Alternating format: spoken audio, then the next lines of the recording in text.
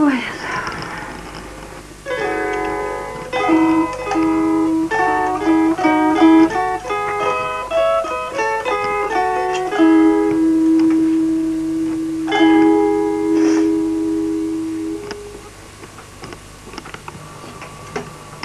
Да, всякая сторонка уделяется.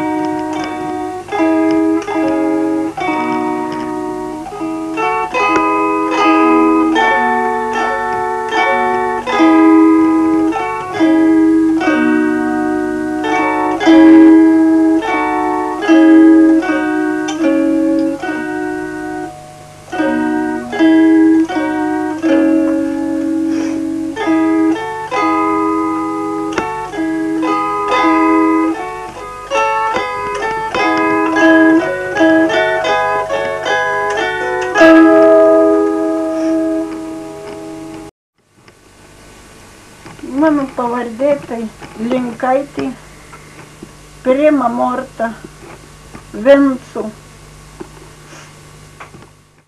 iš kanklininko Leono puskunigio sadybos nuvykome pas partizanų ryšininkę Prima Morta Linkaitė. Gaila, neprisimenu, kas vežė, kas supažindino. Atrodo žmogus, patriotas iš Utenos, kaip greitai laikas išdildina. Na bet pavyko įamžinti partizanės skundą, tragediją.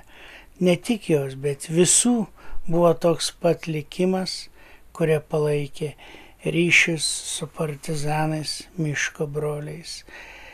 Tai jos pasakojimas yra tarsi priekaištas tiem, kurie buvo pasirinkę konformistinį kelią. Ir dar teisinosi, kad jie irgi stato Lietuvą. Tai gaila, gal nebuvo tokio opera, operatoriaus patyrimo, bet jos pasakojimas yra istorinis. Daug iškentėjau, daug vargau. Aš gimus Marijampolis apskrity, Veiverių valsčiaus buvusiam žinoma ir pribūtkiau kaime. Mano tėvai turėjo 15 hektarų žemės. Jau abu du mirė. Du broliai Amerikoje.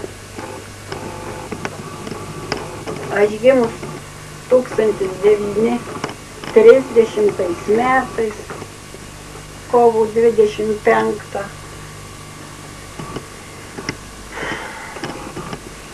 Teko daug labai nukentėti ir išvargti viską. Tėtę nukankinu, mama irgi mirė, kankinių lyga. Mums visus išblaškė, visus kampus, nes buvom septyni, trys broliai ir keturi seserys. Dabar vienas brolis tik Lietuvoje yra. Irgi labai sunkiai vargu ir gyven. Negi tėviškę visą išdraskė, nieko nebuvo, nieko neliko. Išvežiojau komunistai rusai. Aš buvau jų paimtai, teista už buvusi ryšininkį. Aš jiem daug padėdavau, juos kaip sužeisdavau. Ten gyveno pas kaimyną Sabą Kostą, jų jų te buvo slėptuvė, paskui vienu pas naujoką Vladą jų sužeidė. Tris, tai aš eidavo į veiderius, dar Lukša povilas gydytojas toksai buvo iš to vaistų, parneždavo jiem paskui jų jų atsišaukimus aš ir kur reikėdavo aš viską padėdavau, daugiausia buvau aš teista ir iškankyta, nukankyta už Juozo Lukščiaus. ryšio su juo aš turėjau. Susirašinėdavau net kaip jis buvo vakaruos. Laiškus aš gaudavau nors kitokiom pavardėm ir viską, bet reikėdavo gauti per tai. Ir mane paskui kankino, laužė ir, ir tiesiog ir vadino šitą Amerikos žvalgybos agentų ryšininkė buvau. Tai buvo ir, na jau šiaip žinomas Lukša Juozas Baltrušaičių, buvo trys broliai, Klemensas, Juozas, Petras, turbūt Valenta Jonas, nu, kapsuko tenui, paskui nuo šakių Aleksai buvo trys broliai ir visi, visi žuvo, nėra tėvai išvežti į nu, Rusijos gilumas, į Sibirus kur nors, jų ne vieno nėra. A daug pavardžių aš jau kitų visai ir neatsimenu užtat, kad daug teko jų pažinoti. Ir jiem padėti reikėjo viskuo. Ir rūbais, maistu, ir kas reikėjo visur padėjti. Aš mokytis negavau baig, buvau mokinusis pradėjus Marijampolį mokytojų seminarijų. Išmetė iš ten ir paskui tuoj paėmė, ateidavau. Užtat, kad lankydavausi mūsų lietuviai vyrai, partizanai. Viską pažįstamų daug buvo. Mane paskui buvo visai skriaudė ir paėmė pirmą kartą 47 metais į Marijampolės saugumą ten prie sodų tada buvo. Buvo įmesta aštuonias paras vasario antrą, gramyčiaus buvo. Į vandenį įmesta buvau, išbuvau visą aštuonias paras, kad išleido mane taip. Kojos pajuodę buvo visas sunkiai labai sirgau. Išgulėjau tris mėnesius lovų. Da mamytė gyva buvo. Paskui taip reikėjo slapstytis ir vargti. Partizanų vadas Ukša Juozas. Jisai buvo išvykęs į Vokietiją vakarų. Ir jis man buvo rašęs kelis laiškus, saugumas sekdavo tuos laiškus. Suėmė tuos laiškus ir vienas laiškas dar papuolė man į rankas, kaip tas laiškas papuolė, mano sesuo Birutė mokinusi Kaune medicinos mokykloje, jie ją paėmė, jį turėjo irgi susirišimą su lietuviais vyrais šitais, su savo draugelė Ksaite Danute, ten nuo šakių Jie ją paėmė, buvo gegužės mėnesis. Jie iššoko į saugumo trečių aukštų. Susižeidė labai. Nu, šiaip taip, liko gyva. Mane irgi paėmė. Pagavo ant kelių, aš nespėjau save kur nors išnyt, kai jie mane nerastų. Pagavo ant kelių visą ir ir tiesiog išvežė į saugumą Kauno, tenai laikė šešis mėnesius. Kankinu, ką jie nedarė. Išlaužė rankas, kojas, nugarą, galvą ir laikė uždaryta į badu marinų, į visai turėjau dar ražančių. Tai ta, kad aš jeigu čia išyr turėjau dar, dabar turbūt turiu, jeigu kur nenusimeti, kur sudras, sukandžiau tas mano buvo.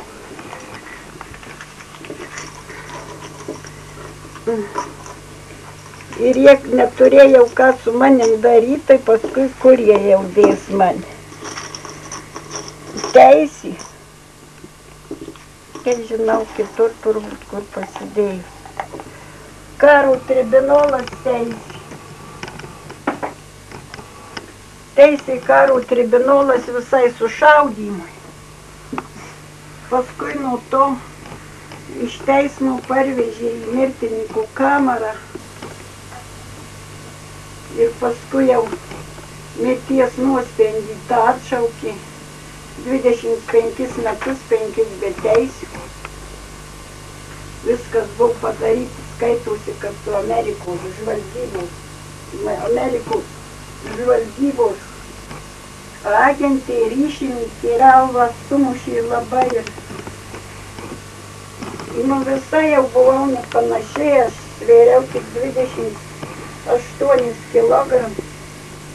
Ir paskui po teismo kiek palaikė, dar su seserė birute kartu ir išvežė. Dar ir Lukiškį abi dvi ten palaikė.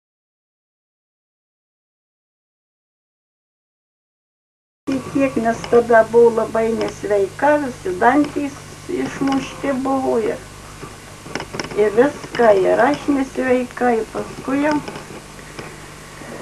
ką jie darys. Išvežė mane į komiją seser, o sesuo papuolė te ir kucka kažkur. Nu, te teko varg, bet aš mažai dirbau jau nukrisdavo, nukrisdavo, tai paskui valgyti niekur, siuntinių iš niekur negaudavau, laiškų iš niekur negaudavau. Vargau, tai lietuvės moterys. Buvo tokia vienuolė, burukaitė iš... Nu, teko būt, bet mums moterų tas lageris buvo atskirai, o vyrų atskirai tenai, tam avizė, imtui, kaip imtų, tai buvo persintimo punktas, o paskui nabizą vežė, kitus į verkutą, tai ten nabizė buvo daug, labai kunigėlių buvo. Užsimiršta viskupas Matulionis, Teofilis buvo ten, paskui į tremtį išvežė, jisai turėjo ir nežinau, kažkas sako, kai jis grįžo į Lietuvą, į Lietuvoje mėgį. Taip daug buvo, šitas mildažys buvo, plutiškių klebonas, paskui Pūzonis Liudvikas, kitų jau pavardės net aš visai ir pamiršau, aš turėjau susirašęs, bet dingo tie mano užrašai.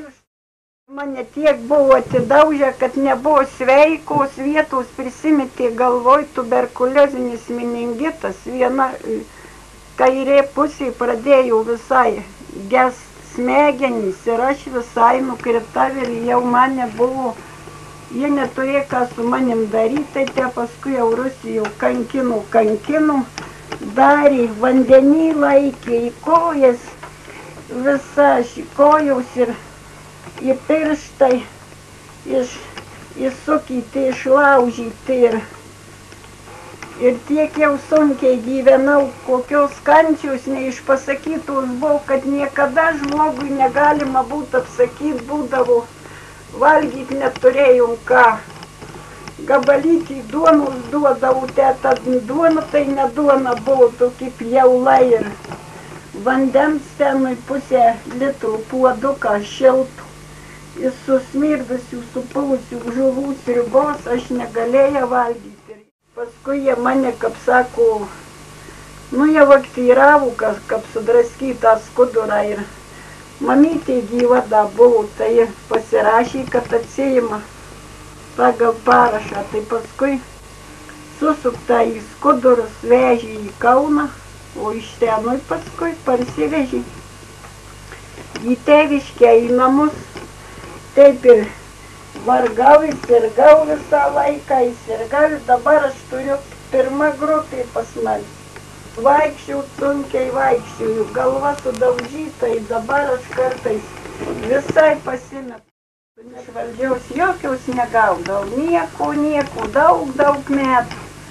Gydytojai visada mane tikrydavo, visada į namus atvažiuodavo ir viską visada pripažindavo pirmą grupę, bet man iškart davė 16 rublių, paskui jau kai pakėlė kiek ilgai, neseniausia, dar tik tai dabar ties turbūt kokie 3 metai gali būti, 4 tai 30 gaunu rublių. Va.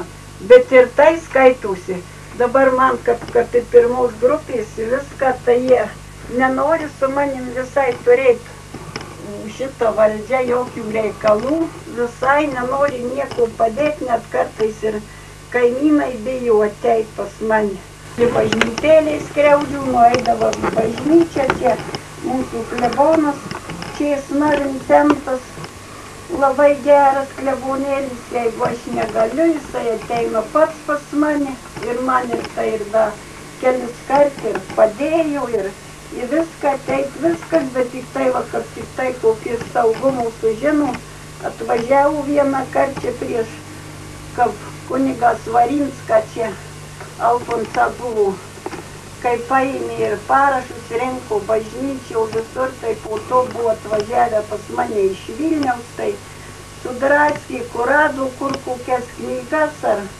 ir pasėmė kur kas ką ir skaitusi, kad jeigu aš dar galiu užsiimti kokiom kronikom, ką tai mane jie vėl gazina paimti, o ką jie jau jie su manim dabar teisveiks. Tai va, yra dar kur kaiminkos moterys, ką aplanko, ateina, pasižiūri, kas reikia iš parduotuvės, duonutės parneša ar ką, aš pati labai mažai vaikščioju. Čia varažantėlis, da kuris mano dantim sukramtytas. Užkiždavau lietuvišką vėliavą burną, suris, surisdavau, surisdavau rankas, kojas, užlipdavau ant nugarų. Išlaužyta visi kaulai, visi, visa atidaužyta buvo. Gyvenu žmonės neapleidžia. Yra gerų dar žmonių, kurie atjaučia, myli, yra tokių dar, yra tokių kunigėlių, kurie mane labai atjaučia ir atlanko. Yra šeštokuo šitas kunigas Vladas Bobinas. Ir tas da kelis kart pas mane da buvo atvažiavęs.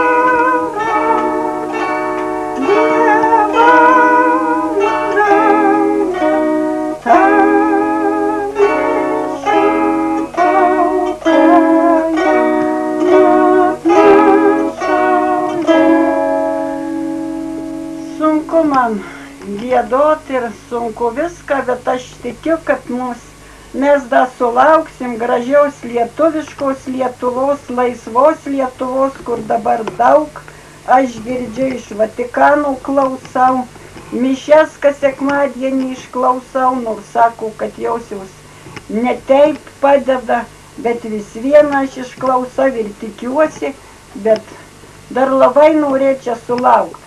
Ir tikiu, kad mes sulauksim laisvaus Lietuvos. Ir visiems galiu pasakyti, jeigu ne aš, tai visi, kurie laukia, visi, kurie kenčia, kunigai, Sibirė ir visur kankinami. Ir visi žmonės, kurie padeda tom kančiom. Ir mes tikimės ir galvojam taip, kad mes galėsim iškelt savo. Nors jau buvo per vasario 16 iškelta trispalviais vėliavos. Mes dar iškelsim, jeigu aš ne, nesulauksiu, tai sulauks kiti, kurie to trokšta ir nori.